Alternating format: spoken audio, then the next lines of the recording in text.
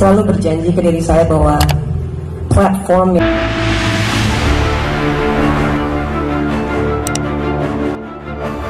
Nikita Mirzani kena tampar. Agnes Mo raih penghargaan lagi. Agnes Mo memang terkenal sebagai selebriti yang tak pernah mempedulikan komentar negatif bahkan ketika beberapa selebriti tanah air ikut menjatuhkannya atas pernyataan yang menyebutnya tidak mempunyai darah Indonesia. Agnes Mo tetap tak bergeming Agnes menyebutkan jika ia hanya perlu menutupi komentar negatif dengan prestasi. Prestasi gemilang pun kembali diraih Agnes usai menjadi orang paling viral di media sosial Twitter kini.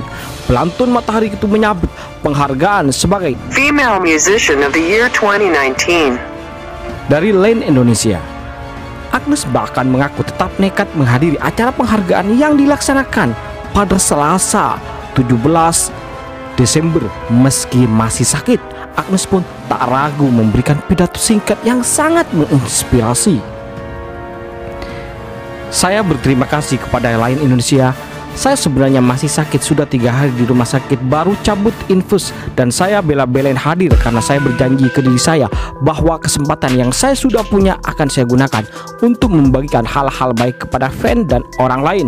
Papar Agnes ada satu pesan dari ibu saya. Selalu saya ingat sampai sekarang Ibu saya bilang popularitas itu nggak boleh jadi tujuan. Itu hanya dampak dari kerja keras. Prestasi yang harus jadi tujuan saya. Tahun demi tahun saya sadar bahwa semakin saya tidak fokus kepada popularitas atau penghargaan atau uang Semakin banyak yang saya terima justru telang Agnes.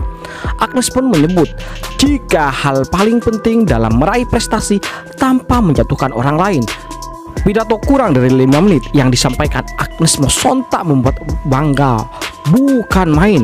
Mereka bahkan tak ragu membandingkan dengan Nikita Mirzani yang beberapa waktu lalu memang sempat mengaku kecewa dengan Agnes. Entah kenapa, sekarang kalau Agnes jadi inget Nikita Mirzani, beda banget antara Agnes sama Niki. Bedanya di prestasi. Kalau status sama-sama wanita, gak pantas rasanya membandingkan Agnes sama Niki bagikan langit dan bumi dari segi prestasi dan attitude. Semua yang berhubungan dengan Nikita udah gue blok. Artis kayak gitu nggak boleh dikasih panggung terangnya. Satu bait kata-kata Agnes seharga tiga kali lipat rumah Nikita Mirzani.